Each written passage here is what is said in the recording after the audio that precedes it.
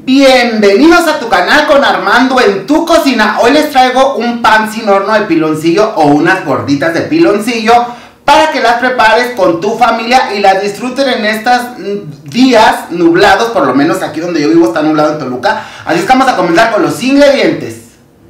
En dos tazas de agua, o sea 500 mililitros, van a agregar dos varas o dos postes, como tú les digas, de piloncillo que cada uno pesa 200 gramos, es decir, en total 400. Vas a agregar una rajita de canela y lo vamos a llevar al lumbre a fuego muy bajo a que esto esté completamente incorporado. Mientras les doy los ingredientes para la masa. Vamos a necesitar para la masa 600 gramos de harina, 2 huevos, 225 gramos de mantequilla, 2 cucharadas de polvo de hornear, una cucharadita de bicarbonato, y agua la necesaria en caso de necesitarla. Así es que vamos a esperar a que esté nuestro piloncillo y regresamos. Miren, una vez que ya está todo, todo bien incorporado, vamos a dejarlo que se enfríe un poquito. ¿Sale? Porque si no nos vamos a dar un quemadón, mis amores. Nada más que se tibie. Vamos a agregar el bicarbonato, polvo de hornear y harina. Y esto lo vamos a incorporar. Una vez que tenemos ya esto, vamos a agregar nuestra mantequilla que tenemos ya a temperatura ambiente. Y vamos a agregar nuestros huevos.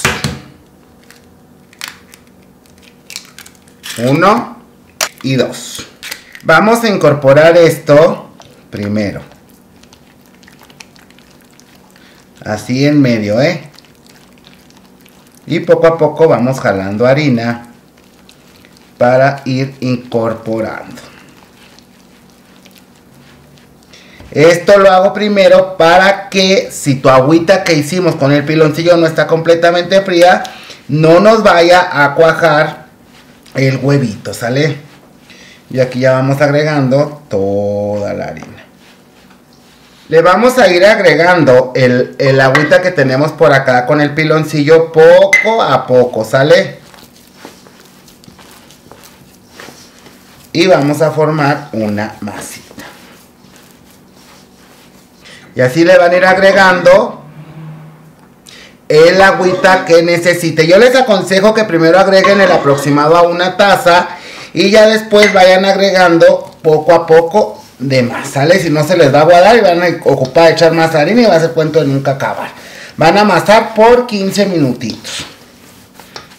Vamos a agregar a nuestra mesa de trabajo harina y van a amasar, ¿sale? Aquí es cuando empiezan a contar los 15 minutos. Ojo, mínimo, mínimo, mínimo, mínimo tiene que llevar una taza de lo que preparamos, ¿sale? Yo ya sabes que las medidas exactas te las dejo en la cajita de información. Para que tú no te preocupes por ir apuntando, ya nada más ver la cajita de información y ahí vas a ver cuánto es lo que ocupamos exactamente de cada cosa. Y ojo, de la taza que tú vas a poner, de las dos tazas que tú vas a poner a, calentar con el piloncillo, vas a esperar a que reduzca la mitad. O se hace a una taza, ¿sale?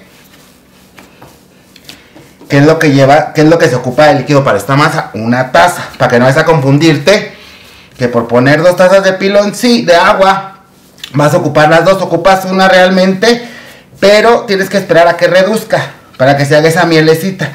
Ya si llegas a ocupar un poquito de más agua, pues ya le agregas tu aparte a la masa. Y así por 15 minutos. Una vez que ya nos queda de esta forma, ya que no se nos peguen las manos, la vas a dejar reposar por unos 15 minutos.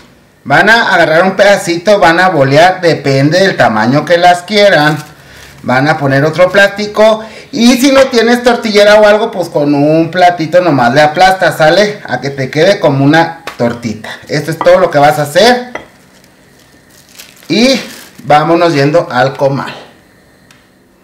Miren, las van a ir poniendo en su comal calientito, a fuego bajito. ¿Sale? Unos 10, 15 minutos por cada lado máximo. ¿Sale? Miren nomás, qué delicia. Entre las voy a dejar 10 minutitos, las volteamos para que las vean, ¿eh? Miren. Vamos a voltearlas. Vean nomás qué rico.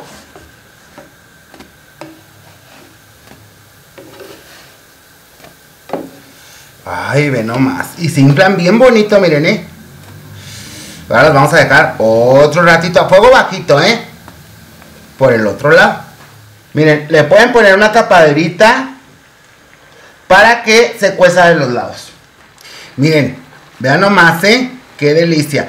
Si tú se te figura que no queda cruda, quieres cocerlas de los lados aparte de la tapadera, pues tendrías que irlas volteando de esta manera para que vayan dorando los lados, pero para mí están perfectas, ¿sale? No te vayas a creer que te quedan crudas, nada más es el tiempo exacto, 10-15 minutos por cada lado, según el fuego de tu estufa puede variar el tiempo y eso es todo lo que vas a hacer. Por dentro ya está perfectamente cocida. Las vamos a ir poniendo en un trapito y las vamos a ir tapando conforme van saliendo. Miren. Ay, aquí estoy sacando más. A mí me salieron 15 exactamente. Las van a ir dejando ya aquí a, a enfriar obviamente. Y las pueden embarrar con mermelada, con cajeta, con leche condensada, con lo que sea de tu preferencia y créeme que te van a encantar. Entonces vamos a esperar a que salgan las últimas dos y se las muestro. Miren nomás, ¿eh? Ahora sí. Bueno, yo voy a agarrar una fría, miren que está por aquí. Espérenme, ay, a mí se me antoja más, está más doradita. Miren, Vean nomás esto, ¿eh? Esta es con mermeladita. Ay, ve nomás ojos que te vieron y jamás te verán volver. Órale, vamos a probarla. Ay, miren nomás, ¿eh? Mmm, mmm. Mmm. Ron, ron, ron, ron. Mmm, mmm. Mmm.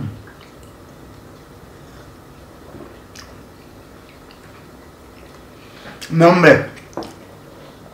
Súper rico. Mm. Mm. Ay, no.